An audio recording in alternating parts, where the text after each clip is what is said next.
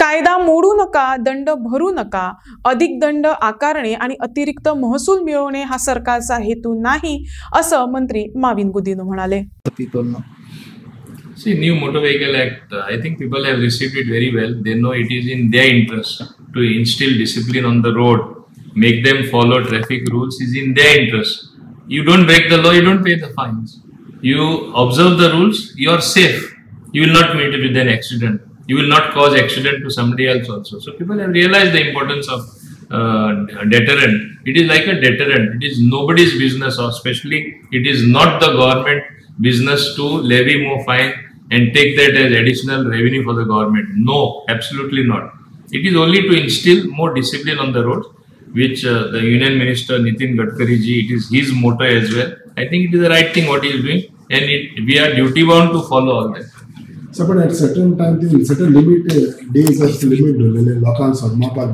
Now that has been removed. or not No, no, no. removed? That will education uh, will be a continuous process. I have told my officers even to make short uh, skits like films on the television as well as to release. They are working on that as well. So that it is going to be a continuous process. People have to be educated continuously. लोक adjust झाले पण new fine सगळे लोक बरे बऱ्या प्रमाणात adjust झाले आय compliment the people of Goa for having very डेलिजंटली chosen to follow the rules. As you know, I gave them one concession. I called a meeting. Scholar time of भुरगीं जी हाडटा तांकां तुमी कन्सेशन दिवपाक जाय you don't fine them because ते तीग जाण बसून वयचेच पडटा ते कितें दोन दोन ट्रीप मारतले वा तीन ट्रीप मारतले आनी ते भुरगे एकटे सोडटले स्कॉलान थिंगा so it is a practical decision they also have to be human that human touch has to be there.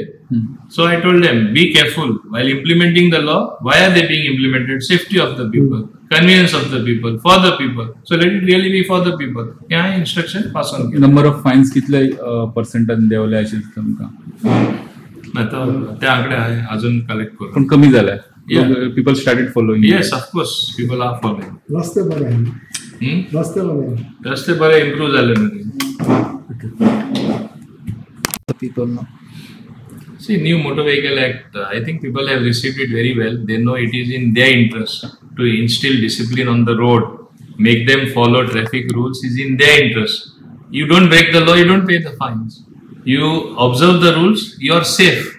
You will not meet with an accident. You will not cause accident to somebody else also. So people have realized the importance of uh, deterrent. It is like a deterrent. It is nobody's business, or especially it is not the government business to levy more fine and take that as additional revenue for the government. No, absolutely not.